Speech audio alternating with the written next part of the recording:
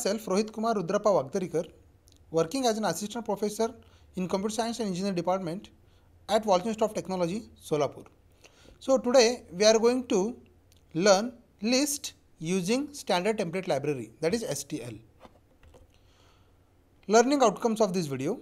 At the end of the session, students will be able to perform different operations on list using STL.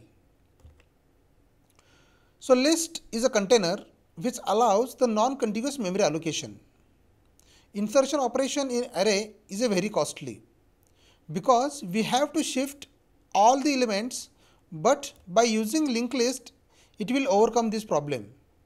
Means what? Let's say let's say we'll have one array of 10 and initially we'll have 5 elements we have stored but if I wants to shift if I wants to insert one specific element at a second position at that time we need to right shift all the elements after second position into the array. Then only we are going to we are allowed to insert the element. That is a very costly in an array. So that's why we are going to use the list collection. So list can be implemented using the list container. It means we can implement the singly linked list doubly linked list all the linked list list using the list containers. So it support following operations. Push back push front front back reverse merge and etc there will be a number of functions are available in the list container or list collection. So let's see these different functions using code blocks. So now here in our program first of all we need to include this list template because we are going to list. So now here again we need to include this iterator. Why this iterator? Because this iterator will allow us to iterate over the list. It's like one looping function. It's an iterator function which iterate over the list. Okay. So now let's say we'll have this main function in this main function first of all we need to create some list. So let's say I, I want to create a list 1 and list 2 so at that time we need to specify that I am going to create the list of integer with list 1 and list 2 right? So here we have declared the list 1 and list 2 by using this list template okay? So now this list function this list container or template again will use to create the two more list called the list 3 and list 4. It means total here we have used the 4 list to perform the different operations. So now in the list 1 and list 2 we do not have any values currently but now here list 3 and list 4 have the 1, 2, 3 and 4, 5 respectively in this third and fourth list. Okay. So now what if I wants to push some values or elements into my list. So at that time we need to use pushback. Pushback what it will do? It will put or push the element at the end of the list. So currently these two lists are empty. So it will start from the first. So now here initially we are going to store the 5 elements in our list. So now here we will have the i is equals to 0 to 5 right.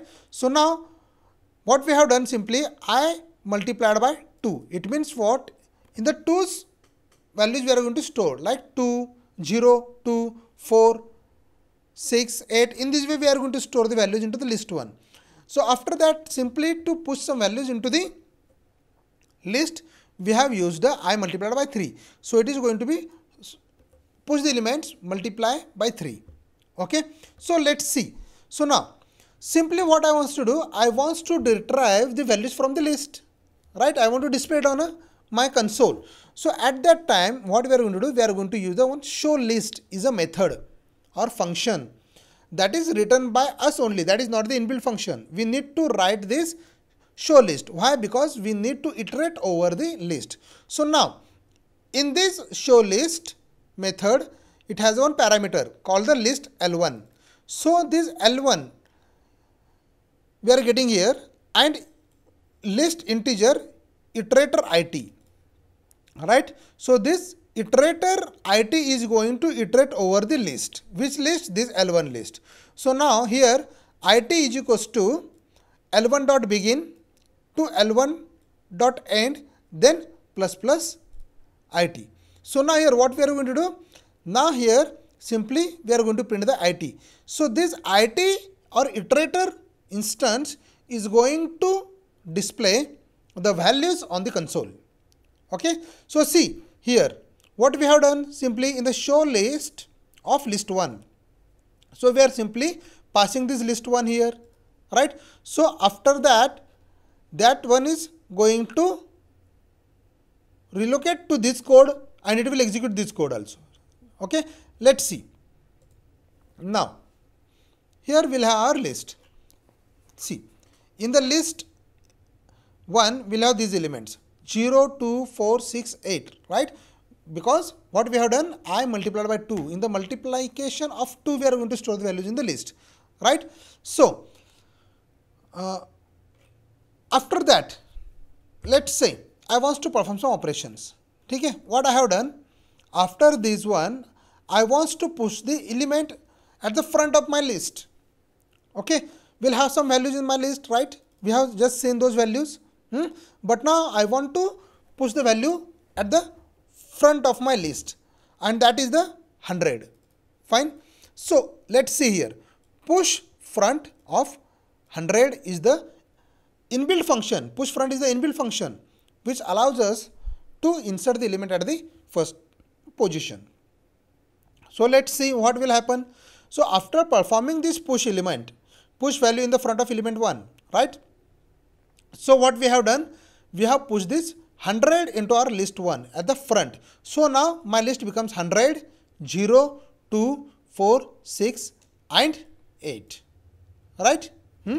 So after that what we have done? Again see. Hmm?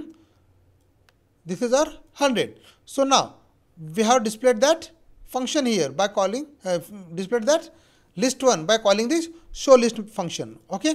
So now let's say I wants to iterate over the list and I want to make one pointer like sp is my pointer and I wants to insert that element at that sp pointers right? So what I have done? Simply here I have created the sp pointer or iterator pointer which is pointing to the list 1 right? Because list 1 dot begin means what? It is pointing to the beginning of my list 1 right? So what i'll do? Simply list 1 dot insert. Insert is a inbuilt function which allows us to insert the element at this specific position. Right? Hmm? so after that what we have done hmm? simply i have displayed the list of show list of 1 and show list of 2 okay? So let's see here. See what we have done? Hmm? after that insert dot begin right? Hey, sp dot begin. We have inserted this triple one right? So it is again inserted value at the beginning of my list. Fine? And these are the values of my list 2 right? So now what i want to do i want to retrieve the front and back element. Okay? So here what we'll have? List1 dot front and list1 dot back which displays the head of the values and the tail of the values. Values of the list 1 right? Hmm? so let's say i want to perform the reverse operation uh, reverse of the list 1 right? So simply here what we'll do? List 1 dot reverse which allows us to print the reverse values of the list 1 okay? So let's check these three operations. So see list 1 front what we are getting? Triple one right? So list one back what i'm getting? 8 value that is the last value. And what i want to do i want to reverse the list one right? Hmm?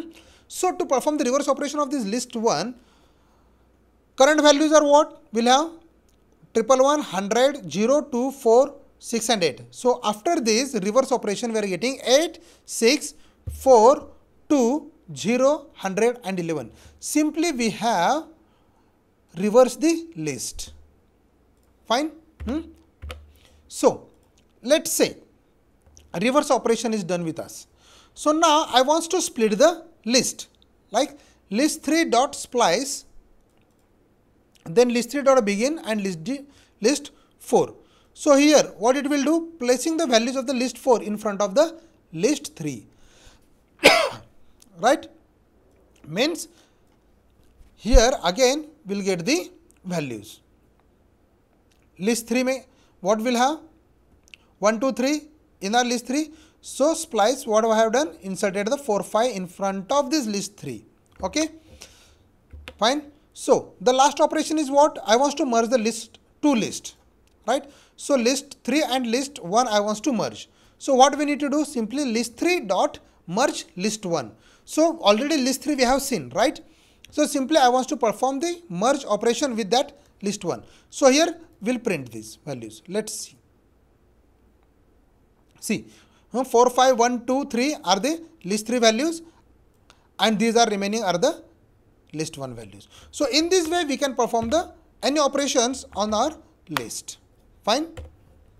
So, it is possible to implement the single list using STL. So, pause the video think and write your answer. Yes, it is possible we can implement the SSL using STL. Hope everyone is getting these concepts. The references are from the Balagurusamy. Thank you.